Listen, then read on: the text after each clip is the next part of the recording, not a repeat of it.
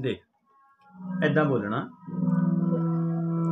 ਮੇਰੇ ਸਤਿਗੁਰ ਜੀ ਤੁਸੀਂ ਮਿਹਰ ਕਰੋ।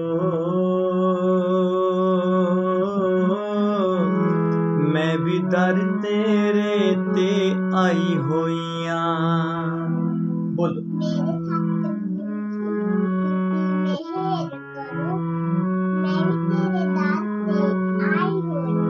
ਹਾਂ ਮੈਂ ਵੀ ਤੇਰੇ ਦਰ ਤੇ ਨਹੀਂ ਮੈਂ ਵੀ ਦਰ ਤੇਰੇ ਤੇ ਆਈ ਹੋਈ ਹਾਂ। ਠੀਕ ਹੈ? ਹੁਣ ਦੇਖ, ਪਹਿਲਾਂ ਮੈਂ ਬੋਲੂੰਗਾ, ਫਿਰ ਤੈਂ ਬੋਲਣਾ ਉੱਚੀ ਬੋਲਣਾ। ਮੇਰੇ ਸਤਿਗੁਰ ਜੀ, ਤੁਸੀਂ ਮਿਹਰ ਕਰੋ। ਬੋਲੋ।